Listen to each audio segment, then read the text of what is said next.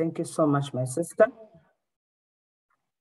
Our speaker this morning is Shepherdess Nokhanyo Ndlovu, who is running an abuse and violence awareness series. From last week, she spoke to us uh, from 2 Samuel 11, verse 27, with the topic, You are the man.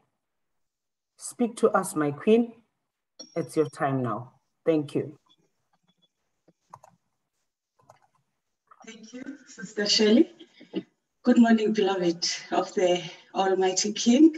I greet you this morning in the wonderful name of my Lord and Savior, Jesus Christ. Amen. This is the day that the Lord has made. Let us rejoice and be glad in it. Today, uh, the title of our short message is He Came from the Philistines. He came from the Philistines. And I read from First Samuel chapter 17, verse 4.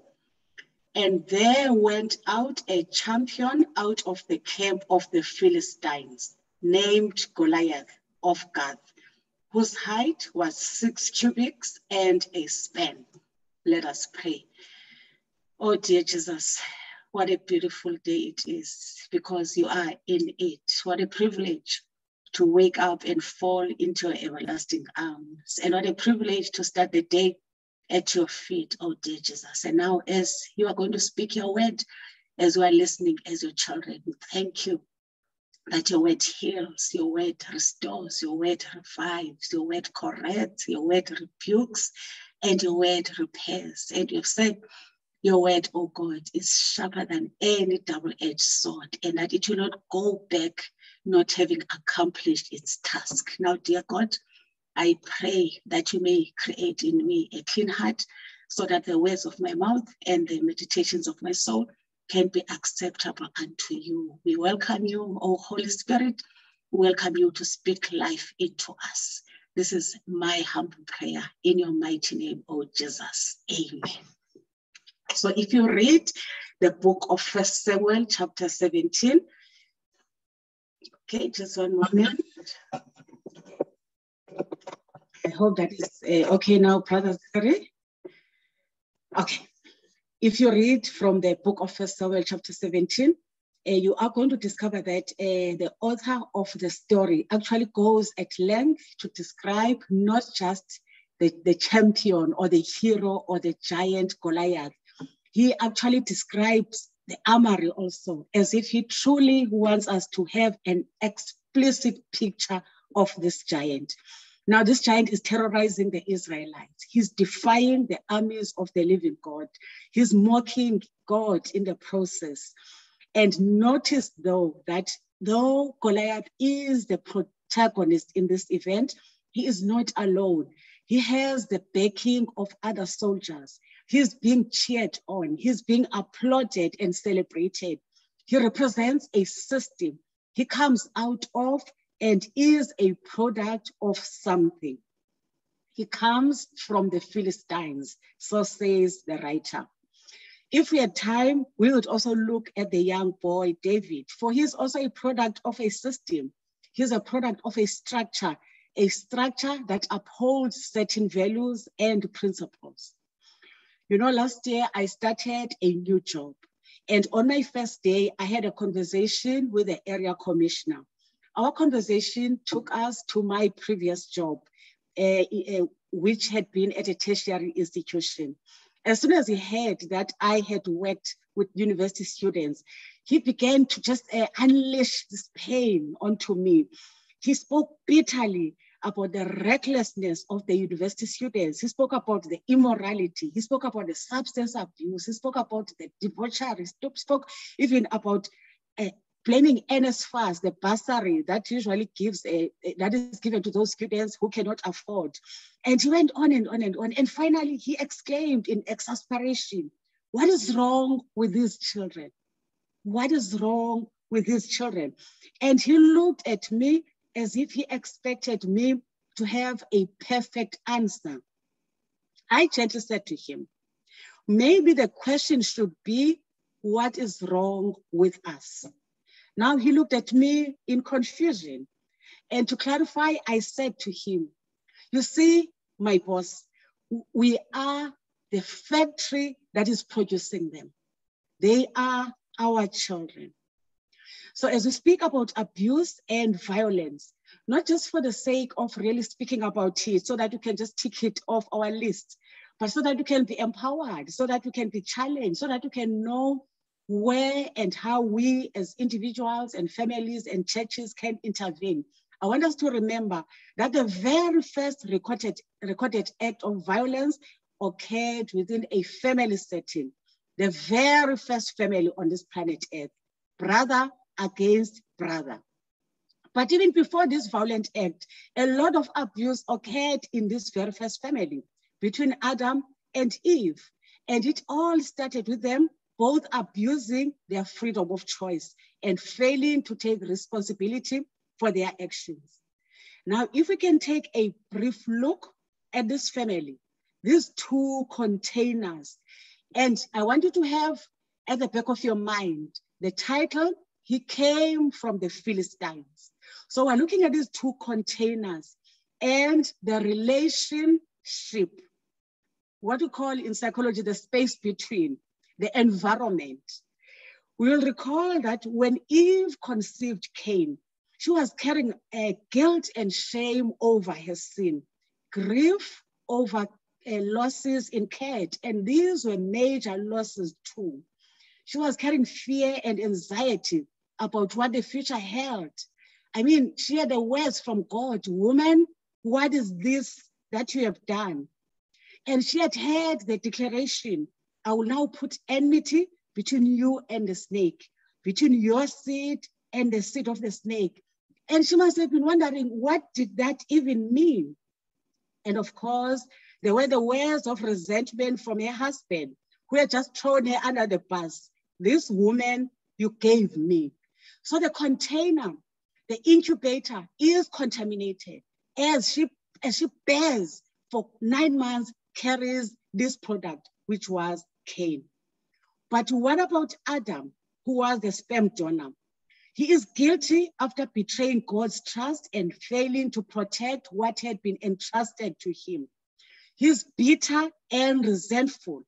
He harbors both repressed and suppressed anger towards Eve. He is filled with shame over being weak willed and failing to say no to Eve, failing to trust God to handle the situation and failing also to take responsibility for his part in this sin. He is hurting and grieving. He has anxiety over what the future holds. I mean, he can't even begin to, ma- to imagine what does toiling and sweating mean? What, what, what does God mean when he talks about thorns and thistles? And of course, both their DNA now bore the imprint of sin. And because we produce what we carry, it's no wonder that they gave birth to Cain, rebellious, reckless, defiant, audacious Cain, who without guilt or, or shame brazenly looks at God and responds, Am I my brother's keeper? To the question, Where is your brother? You know, the two things that God blessed during creation, the family, and the Sabbath. The devil has tried his utmost to destroy. The family structure has become so eroded that you are producing monsters. I mean, imagine a 17 year old who rapes and murders an 11 year old neighbor, and we only discover that he has two pending rape offenses. The question is what happened to this child? Can you imagine three medical students who rape a fellow student just to confirm that indeed she is the virgin that she claims she is, and just so that they can give a taste of what they think she is missing? And imagine if these three medical students who are going to be our future doctors even sent her video clips and images three weeks later, no guilt, no sense of remorse. Where do they come from? How did they get to be where they are at? And imagine during the trial of these three young boys, one of their fathers is caught on audio as they are looking at the video, you know, they are looking at the atrocity of what the sons have done. The comment from the father is, mm, she has such a beautiful body. You know, one person has said, yes, it is nature. It is genes or genetics that load the gun, but it is nature or the environment that pulls the trigger. You know, sometimes we speak about generational curses so lightly and so casually. Sometimes you have no idea, none at all, how far the devil unrebuked eh, or how much damage or how far the devil unrebuked can go. We need to watch and pray always, not just for things or jobs, not just for, for, for for, for promotions, not just for houses, not just for land, but you need to pray against spiritual forces of evil that lie ever so near. The lion that roars around, the, the, the devil that roars around like a, a lion, seeking for whom he may devour. We need to pray for the cleansing of our bloodline from our past wickedness, our poor choices, our acts of rebellion against God. But you also need to pray for the wickedness of our forefathers. I mean, think about the legacy we have inherited from our parents. Think about cancer and diabetes. Think about hypertension. Think about rebelliousness. Think about sexual immorality. Think about promiscuity. Some of us are fathers who don't know what it is to have self-control. Some of us are mothers. When we got married, we were not pure. Some of us have never said no to immorality. So these monsters, they come from us. Think about the legacy, the entitlement, the aggression, the violence. You know, Jeremiah says, the fathers and mothers eat the sour grapes, but it is children's teeth that are set on edge. So I want to say to you, we are born in relationships, are wounded in relationships, but also get healed in a relationship with the one who says, I have come that you might have life and have it in abundance. And he heals us to create relationships that are going to be vehicles of healing and restoration. You and I are a product of something. And until we acknowledge our woundedness and ask God for healing, we may sit for 38 years by the pool without benefiting from its stirring. We may literally die from thirst whilst we are parked next to a fountain that flows with the sweetest of healing waters. And we will unfortunately pass the baton to our offspring. You know, I have been sitting in therapy with a young man who is seeing me for many issues, including addictions. And for one reason or another, despite his father being physically present, he told me with a lot of anger and resentment that he was fathered in the streets. I mean, the boy had a home, but he says to me, Ma, I was fathered in the streets. And ironically, this boy now has a six year old son, and he's wounding him exactly the way he was also wounded, and he's not even aware of it. What an unending cycle. You know, I want to say to you, God can no more heal what we do not acknowledge than he can forgive the sins that we do not confess. And today, as you ponder over these words, as I ponder over these words, we need to think about we need to think about our own relationships. We need to think about our own relationships when we talk about this abuse and violence. How are things in your boat? Does love live there? Does joy live there? Does kindness and gentleness live there? Is there selflessness and sacrificing of self on behalf of your family? You know, we know that God hates divorce, but you also need to know that He also hates the homes we build that are devoid of love and gentleness and mercy.